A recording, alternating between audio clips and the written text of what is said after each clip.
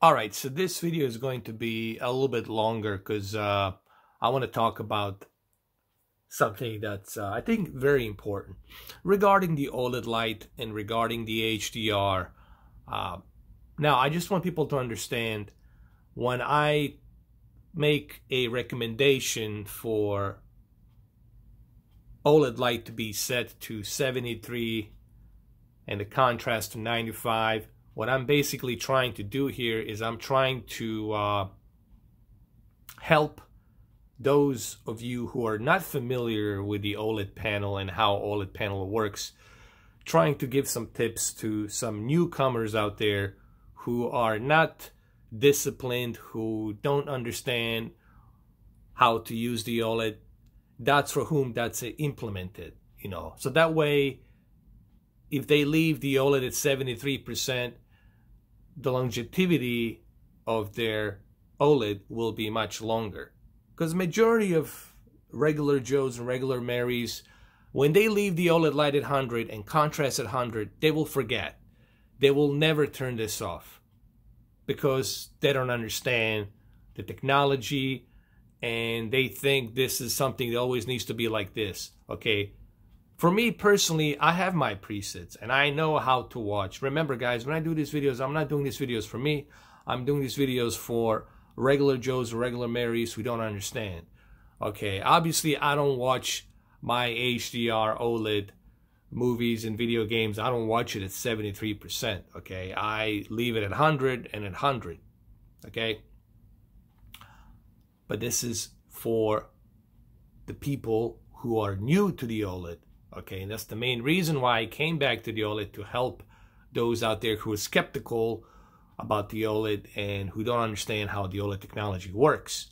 All right, now we're gonna switch to the game uh, game mode HDR. We're gonna switch it here. I'm gonna click on it. I'm gonna go back. This is uh, currently I'm using a um, HDR game mode. There it is.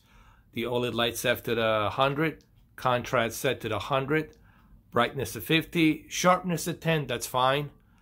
Uh, we got the color here set to 55 color temperature I'm gonna leave it at zero. People ask me why do I leave the color temperature at zero? Because I don't want it to be too cold. For the video games I don't want it to be too cold nor I don't want it to be too warm. Meaning I don't want it to be blue or yellow. I want it to be in the middle right here. C stands for cold and W stands for warm. So I like to keep it here in the balanced zero. For the movies, obviously you want to go ahead with a uh, you want to go with a warm color. But this is for the game. So color temperature, keep it at balanced zero advanced controls, dynamic contrast, uh, I would keep it at high because you want to get uh, that nice uh, vibrant HDR. Keep it at high. Dynamic tone mapping, leave it on. Dynamic color, uh, this is something that I would use as well, but I would keep it at medium because you don't want to oversaturate the color too much. Keep it at medium. Uh, color gamut, leave it at white. Super resolution, you can keep this at medium, but this only takes the effect if you're using it for the uh, regular 1080p content. You know, this is not going to take any effect here on the uh, 4K native 4K source Crackdown 3 that we're playing right now. Um, what else? Hold on a second. And gamma, obviously, we don't need to mess with that because uh, we are in the game mode. We're fine. So this is what I'm using basically for the game mode. So now another thing I want to say, it's really important that you guys save the presets. Okay, uh, so that way once you uh, customize these presets, make sure you customize all of your presets. When you uh, purchase your TV, customize the game mode HDR presets customize the standard mode non-HDR presets, customize the Cinema HDR mode presets, and customize the Dolby Vision HDR presets, and customize your sports presets. So that way, when you switch to HDR and non HDR, it's already set for you. So you don't have to go back and forth constantly and, and, do this. This is why I recommend that you guys do this in advance when you purchase your TV so that way you don't have to worry about it. A lot of people uh, forget to save their presets and then they have to go back and forth, back and forth, you know. So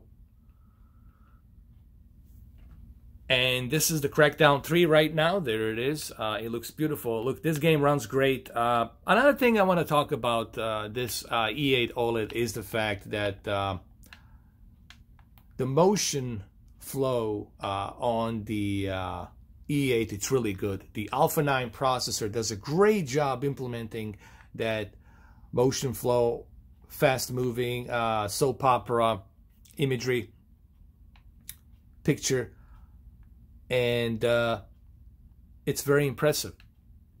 It looks very impressive. Also, the input lag, low latency on this television on the game mode, it's about 21 millisecond, which is pretty darn good uh, for an OLED. So that's due to the uh, A9 processor that you have that low latency. And it really looks great. I was really impressed, you know, coming back from C7 and C6 and B6, uh, it's definitely a huge difference here in terms of uh, low latency on the, the game mode. Now this is Crackdown 3. Uh, we're going to move back on to uh, another game. We're going to move back to Metro Exodus just to show you Metro Exodus really quick. All right, here's the Metro Exodus.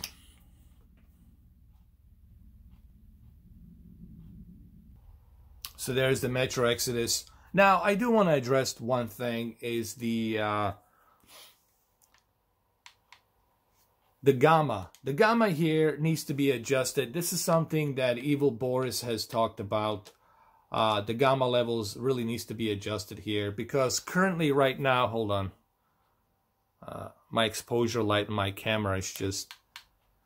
I would move the gamma levels a little bit high because currently the Microsoft and the uh, Xbox, they're having some issue with the gamma level on their games. This issue has been addressed by both um, Digital Foundry and Evil Boris HDR. And I trust both of them. And even I noticed it that the gamma levels are not where they need to be. So this is something that the best way to adjust this is just move your gamma levels up a little bit. Okay and you will see a much better difference. You will see a much better definition on the characters. Okay. All right, so here we are with the uh, HDR and the gamma. See, when you move the gamma a little bit, see, you get much better definition on the uh, the dark areas right here. So what I basically did, it's move the gamma levels a bit up because this is OLED and, you know, you're going to need a little bit of that gamma to go up, especially for the Xbox version because the Xbox has been having some issues with the uh, gamma levels on their games.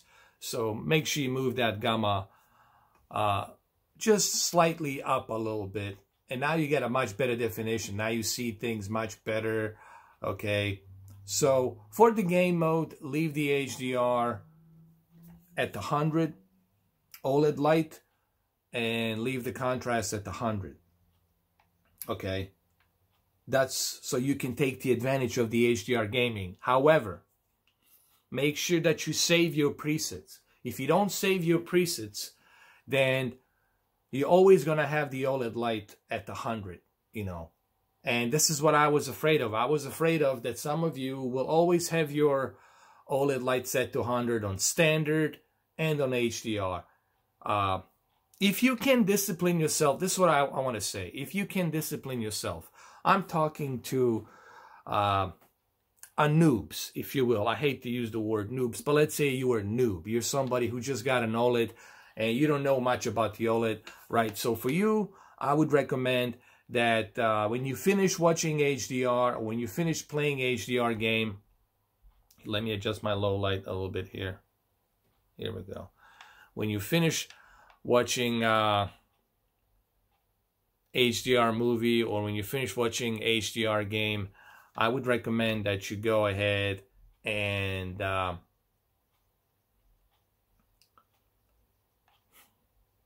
switch back to your standard picture mode and move that OLED light to 73 when you're not watching the HDR. If you can do this, if you can, you know, memorize this, I would uh, highly suggest that you do this. And the main reason why I went back to the OLED is to help you guys, to give you some pointers, some key pointers, some tips on how to do this. Now, currently, as you can see right here, we are on the uh, HDR user. See, I already have saved my preset, so I don't have to worry about it. You see, I don't have to worry about it. My preset has been saved. My game user presets on HDR have been saved. So whenever I'm watching the HD, whenever I'm playing the HDR game, the uh, OLED light will be set to 100 and contrast will be set to 100. And this is true. If you want to take the advantage of the tone mapping of the HDR, you're going to have to have that OLED light and contrast set to the maximum so you can appreciate what the HDR can do. This is true. I'm not disagreeing with this. I'm just simply saying that if you can remember to save your preset, save this preset. So when you go back to the standard HDR, I mean to your standard 9 HDR, that way you will go back to 73% OLED light. Do you guys catch my drift what I'm trying to say? Hopefully I'm not confusing when you are watching a or playing a game in HDR, have the user preset where you select, customize it yourself, and then save it. So when you are not playing HDR game mode on the OLED, when you finish with the HDR game mode on the OLED, and you go back to the standard uh, picture settings, it will automatically go back to 73%. But also make sure that your standard picture settings are set to 73%, okay? Don't leave your standard picture settings to 100% OLED light. You don't need that 100% OLED light on your standard picture settings on non-HDR content. What I'm trying to say is if you're not watching HDR content, have a preset at 73% at the standard picture settings. If you are using HDR, make sure that it's set at 100 OLED and 100 contrast, okay? And that's what I'm trying to uh, come about here. You see, right now, this is HDR game mode. And here, OLED light is set to 100, contrast set to 100, all right? Here, we are good.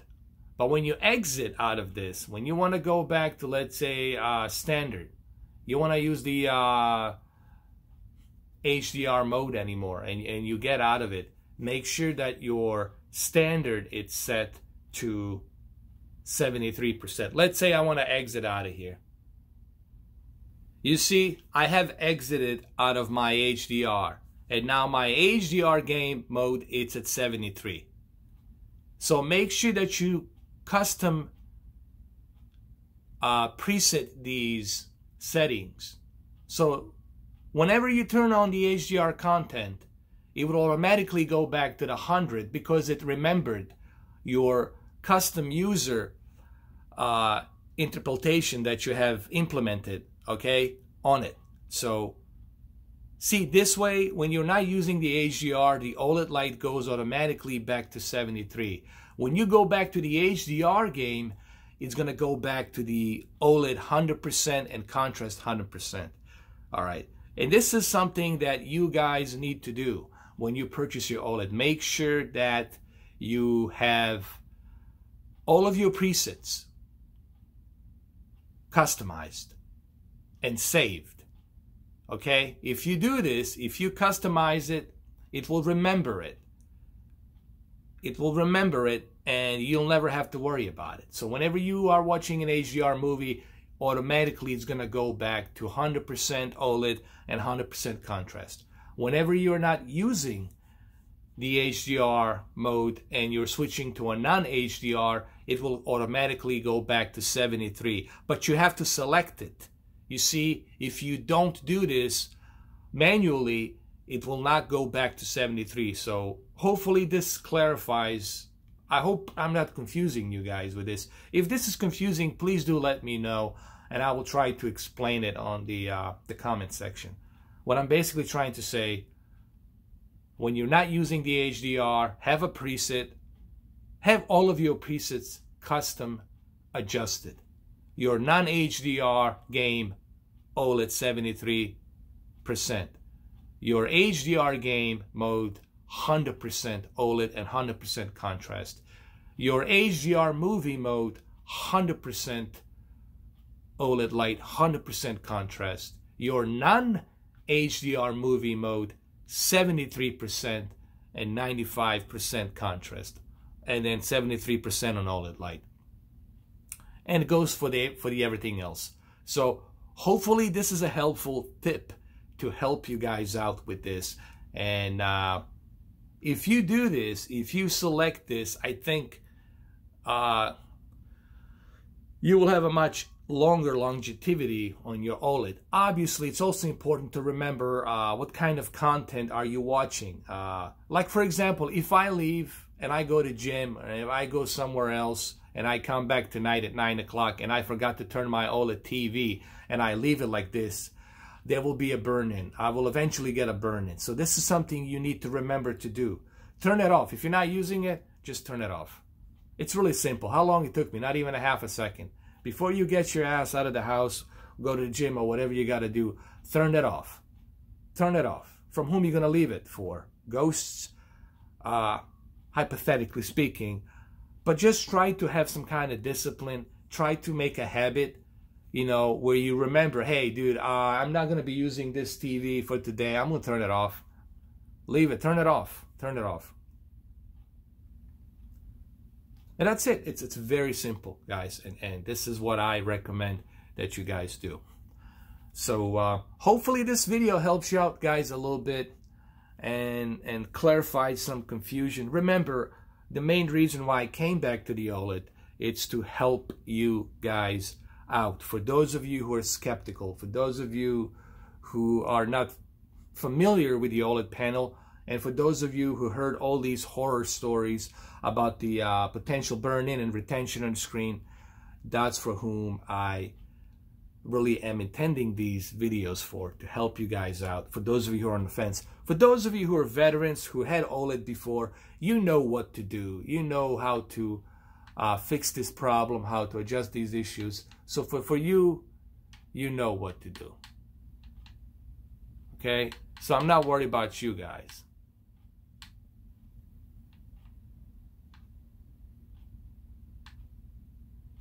All right, well, there you have it, guys. Hopefully this video helps. Thank you.